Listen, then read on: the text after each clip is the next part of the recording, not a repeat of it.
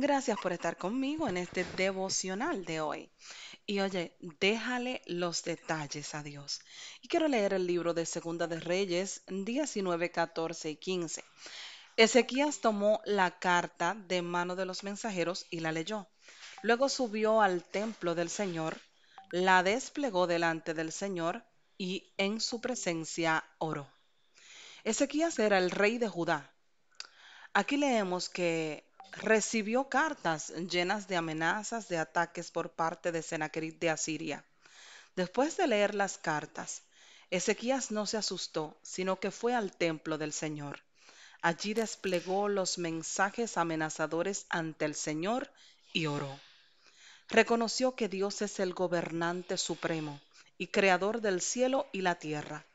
Le pidió a Dios que lo escuchara, que abriera sus ojos y escuchar el mensaje de Sennacherib y que viniera a rescatar a su pueblo. Y Dios lo hizo. Cuando tengas un problema grave, no entres en pánico. Cuando el diablo te amenace, no entres en pánico. Ve a Dios y luego pon todos los detalles ante Él y pídele que te rescate y Él lo hará. Repite conmigo, Señor, de todas las cosas. Amén. Señor, tú que eres Señor de todas las cosas.